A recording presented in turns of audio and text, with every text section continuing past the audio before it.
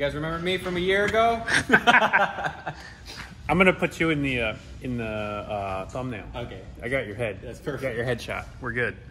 So this, first of all, this is Ion, Hi guys. and this is Ion's awesome Z. What are we doing? we are putting twin turbo. Just joking. We are putting triple carbs from Weber because the Mikunis are extremely expensive and I can't afford them.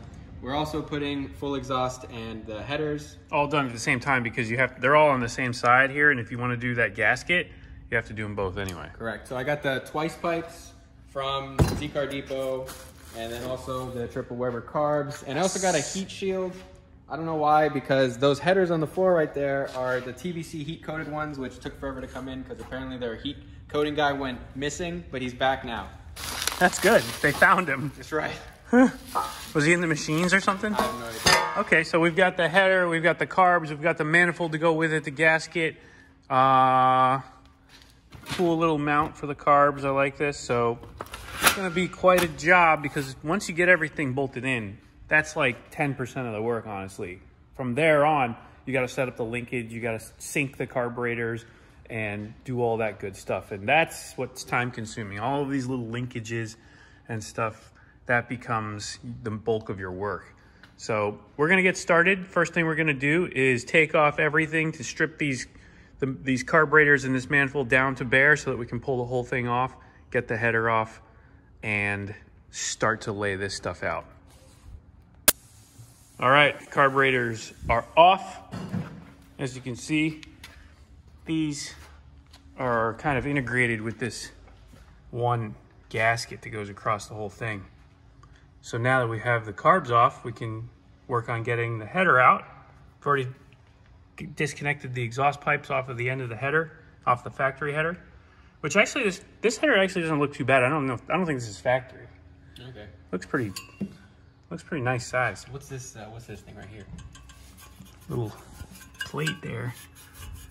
Maybe, I don't know. Custom. Maybe I can't see what it says. Oh, Pacesetter. Yeah, it's not factory. Oh, so Pacesetter headers. Yeah, so this is a Pacesetter header. So there you go. So not a factory header, but uh, looks like it comes pretty much in the same package as a factory one. So we'll go ahead and keep taking stuff apart. What are we doing now? Getting this exhaust manifold off, or header, as we figured out. Um, got all the bolts off. Now we're lifting out. Up and out. Easy work. See kind of a comparison between the two. They're a little different. You can see the front runner design there is a little different on the on the new header than the old one. And it looks like the collectors are a little closer together. So kind of interesting. Now we'll clean off this gasket surface, get this gasket out of here, and start preparing for the new stuff.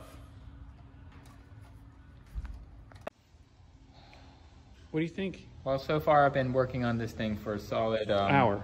minimum. That's what it says, one hour on the manual. That's what it says in the book. Yeah, Shah's doing a really good job. Yeah, it hasn't been eight hours. Look at that. Huh? The deep socket. Yeah, that one. Tool boy. So uh, we've got the carburetors on, got the header on. Skipped a bunch of steps for you because it was a real nightmare. Um, longest hour installation ever. So I had to actually cut this bell crank to work with the throttle in the opposite direction so that I could put the throttle arms on the other side and make the throttle actually work this way. Then the rod wasn't long enough, so I lengthened the rod using another piece of metal so that the whole thing would reach to that farthest carburetor. And we've got everything set up. So now, tightening up this, we're gonna go downstairs to the exhaust, try to get that buttoned up. Then we're gonna put some fuel in it and see if we can fire it off and make it run. Make this guy happy. Okay, can you do me a favor and start this thing up, Ion? We primed the carburetors, got the air out of them, got everything going. And uh, hour.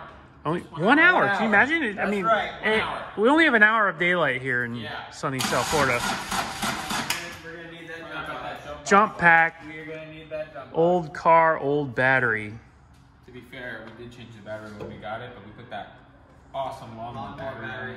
What do you mean? That ain't no lawnmower battery. Yeah, it's the same lawnmower my Dixie chopper takes. Hit it. Three, two, one. Oh yeah. Nice.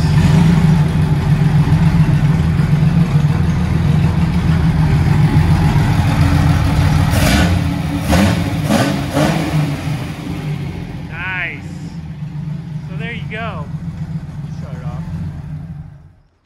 Harvey's gonna come put the exhaust on this thing. We're gonna get an exhaust welded up because the exhaust system that he got didn't really fit too well. He wants to stack the mufflers vertically instead of horizontally. Like that. Yeah, so Harvey's gonna massage these and we'll do some piping and it'll sound real nice. Then we can go back into some tuning. But um, overall, this is a beautiful car. Um, we found this car how long ago? A couple years ago. A year. A year, A year ago? Okay.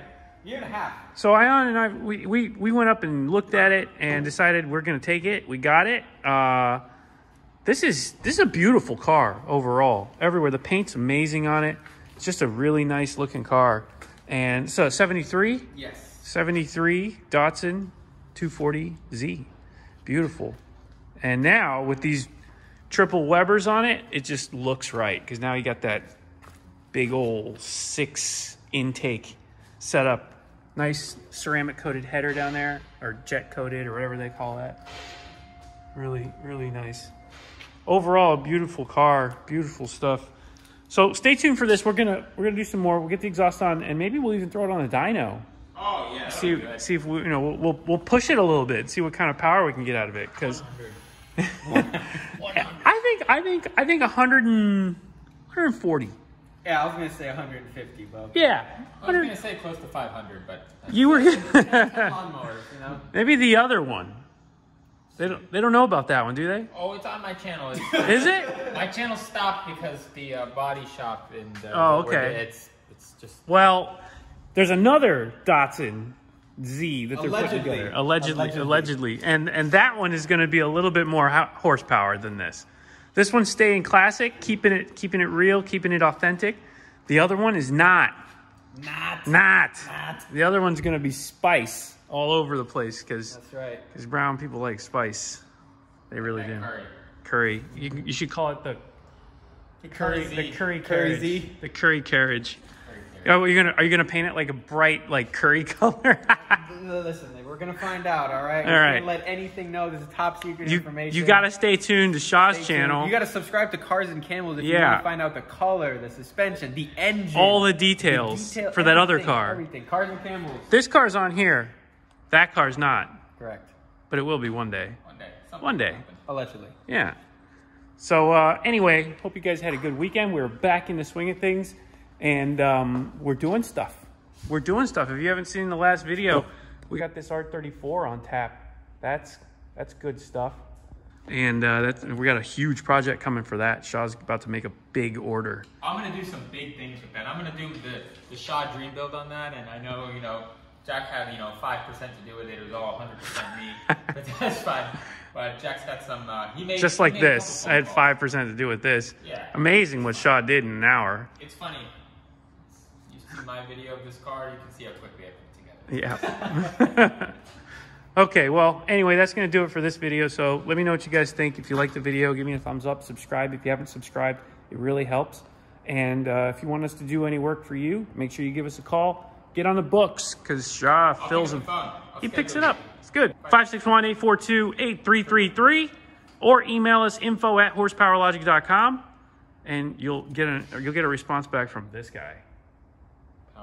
Power to the people. Which Biden's, people? Biden's America.